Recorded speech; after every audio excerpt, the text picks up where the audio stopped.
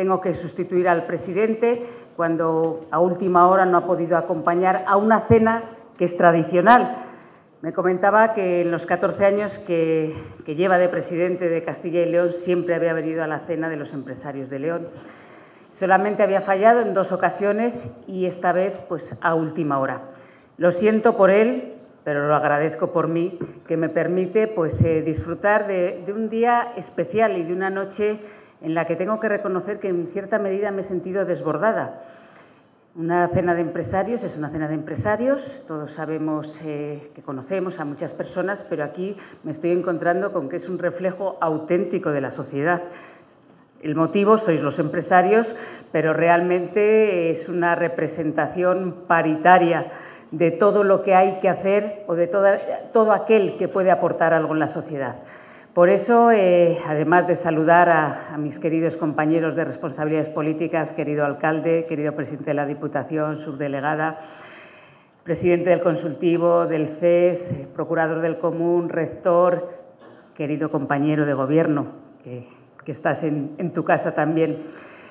Quería citarles porque, lógicamente, estamos aquí las autoridades para hacer algo y para decir algo. Pero hoy aquí hay unos protagonistas. Hay uno, que es el empresario leonés del año, querido Juan José, pero hay otros muchos a los que hoy también tenemos que recordar. Se ha citado por parte de quienes me han antecedido en el uso de la palabra pues el recuerdo de don David Álvarez, eh, presidente y fundador del Grupo Eulen, que creo que ha sido de las personas que nos ha demostrado que en León, en toda Castilla y León, pero especialmente en León, ha habido buena cuna de empresarios. Gente que han apostado desde el principio por innovar, por crecer, por saber adaptarse a los tiempos y por generar, al fin y al cabo, lo que genera un empresario, que es riqueza, y la riqueza es empleo, y la riqueza es repartir. Por tanto, en nombre de todos, eh, yo creo que hoy tenemos que, que, dedicarle esos minutos de recuerdo a quien eh, acaba de fallecer, pero sobre todo centrarnos en los empresarios que hoy me he encontrado, en el premiado del año, en muchos jóvenes empresarios que ahora ya no son tan jóvenes, pero que efectivamente nos hemos reencontrado hoy aquí y que han demostrado que, saben seguir en, este camino.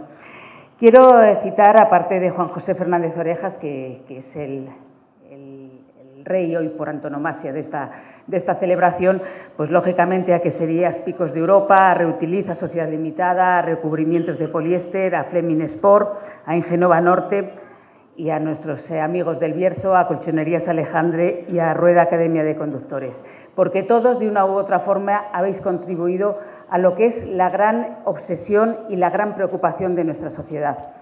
Aquí, eh, si en este momento hay algo que nos eh, preocupa a todos, es lo que es nuestra mayor mmm, lacra, podríamos decir, que es el desempleo.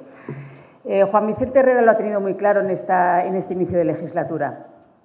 Quiere que sea la legislatura del empleo. Para eso, pues ha creado una consejería específica, pero más que crear una consejería específica, intenta poner a todas las consejerías a disposición de ese objetivo fundamental todos los consejeros saben que no hay cosa más importante que esa y, como tal, pues eh, es su obligación.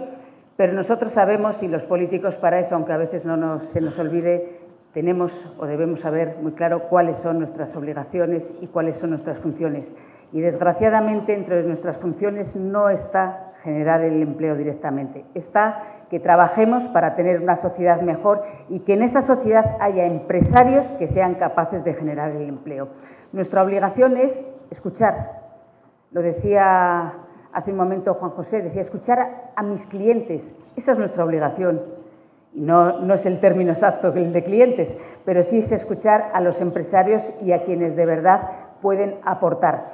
Aportar cuando además en estos momentos eh, son muy complejos. A nadie se le escapa que hemos vivido una de las eh, mayores crisis que se puede vivir, dos recesiones económicas heridas podríamos decir que a veces no hay país que lo aguante y aquí lo hemos aguantado. Se ha aguantado en el conjunto de España y se ha aguantado especialmente en Castilla y León y no ha sido fácil. Eso ha sido, pues, en primer lugar, porque ha habido una política clara de apuesta pues, por la estabilidad, de apuesta por el control del déficit, de, de, apuesta por revitalizar y por ser creíbles en el resto del mundo. Y eso eh, lo ha hecho pues, no solamente el Gobierno de Castilla y León, sino el Gobierno de España y el Gobierno de todas y cada una de las administraciones, porque aquí somos necesarios todos. Castilla y León tiene algunas ventajas que tengo que, recordar aquí.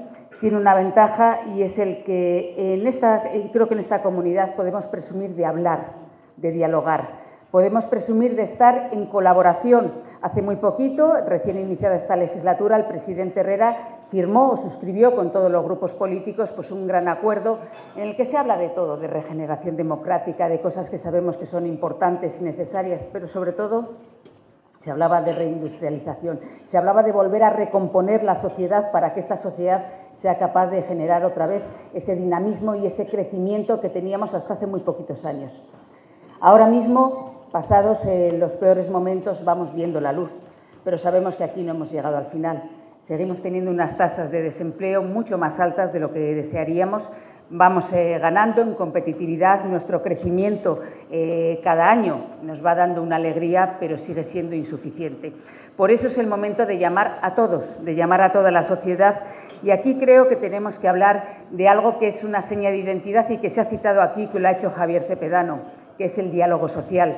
Afortunadamente, en Castilla y León tenemos un acuerdo con los empresarios y los sindicatos, en los que, como todo el mundo puede imaginar en estos 14 años y más de 60 acuerdos, pues ha habido encuentros, desencuentros, eh, razones para, para levantarse de una mesa y razones para volver a sentarse. Y al final hemos llegado a un clima cordial que hace que seamos una tierra atractiva, una tierra que efectivamente, también lo decía Javier en esta nueva eh, en esta nueva reincorporación o continuación de su, de su presidencia. Hay que seguir haciendo cosas, no estamos satisfechos, siempre tenemos que pedir, pero sí tenemos que ser optimistas en la medida en que muchas cosas han mejorado. Y han mejorado porque no solamente dentro del diálogo social estamos trabajando en una estrategia de empleo, sino que creo que la Junta de Castilla y León tiene muy claro que hay un marco necesario, que es la competitividad.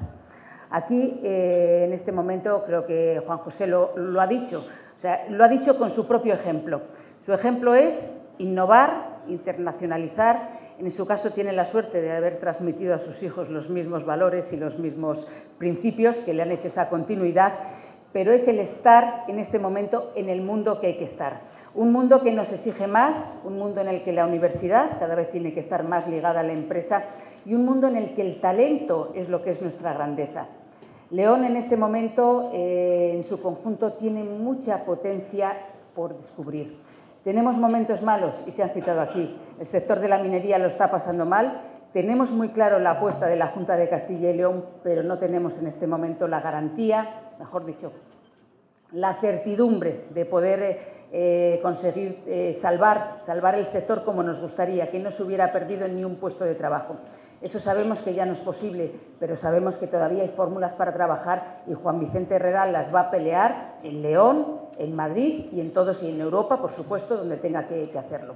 Pero hay sectores en León que siguen dándonos alegrías, el agroalimentario, el, biotecnológico, el farmacéutico, es que estamos todavía en turismo. Hoy, sin ir más lejos, en Intur hemos estado con el presidente de Renfe firmando un acuerdo para que pudieran eh, pues, venir viajeros y, lleguen además a, esa integración ferroviaria por la que te has peleado tanto, querido, querido Toño Silván, y que hoy te has tenido ya también la aprobación en el Consejo de Ministros. Tenemos que luchar por, por descubrir lo nuestro. A veces eh, pecamos de falta de confianza. Leía en una de las eh, de la biografía de Juan José que decía el empresario que todavía en algunos sectores ha sido denostado. Qué triste es que tengamos todavía que decir e insistir muchas veces en la labor del empresario. El empresario no es ese señor, lo tengo que decir delante de quienes lo sufrís todos los días, no es ese señor que quiere eh, ganar, que solamente quiere eh, que se le asocia con una personalidad poco sociable. No, todo lo contrario. El empresario es el trabajador, es el autónomo al que tenemos que proteger cada vez más, es el señor que cada vez que le va bien en su empresa reinvierte es el que sufre cuando tiene que tener, eh, en algunos momentos de crisis ha habido despidos, y es el que tiene a sus trabajadores como sus colaboradores. Aquí no hay un empresario y un trabajador, hay un grupo, como en este caso se Edisa, un grupo que es un conjunto que genera esa actividad. Quiero por eso eh, rendir hoy el homenaje a todos los empresarios, a todos los trabajadores, a todos los potenciales clientes, pero sobre todo a toda la sociedad. Esto es algo de todos. Los políticos, las administraciones solas podemos hacer muy poco. Si no somos capaces de convencernos y de confiar en nosotros mismos, tendríamos abocado el, tendríamos perdido el futuro. Y como todo lo contrario, somos muchos los que creemos que podemos desarrollar mucho más. Yo os quiero dar las gracias a todos los que estáis hoy aquí, porque lo hacéis por razones afectivas, por razones familiares, porque sois empresarios y porque queréis a León y a Castilla y León.